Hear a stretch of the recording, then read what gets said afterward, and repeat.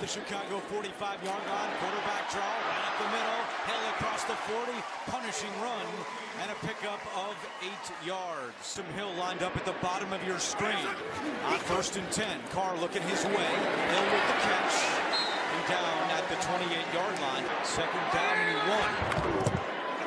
He's going to run it again. And Hill has the first down.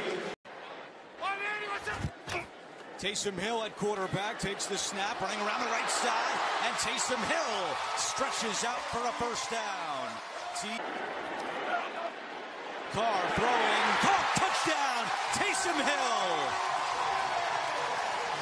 His first receiving since Frank Gifford to have 10 receiving touchdowns, 10 rushing touchdowns, and 10 passing. Hill and Jamaal Williams.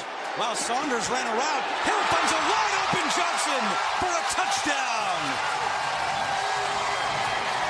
Juwan Johnson. Boy, everybody's eyes are on him, and Taysom, Taysom Hill does a great job of looking to the flat and then coming back. This is wide open, as easy as it gets.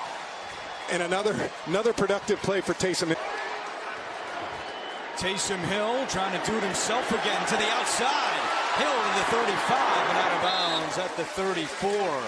Thanks for watching the Saints Happy Hour. Subscribe to our YouTube channel, then find us wherever you get your podcast, and finally go to saintshappyhour.com and become a patron of the best Saints podcast on earth.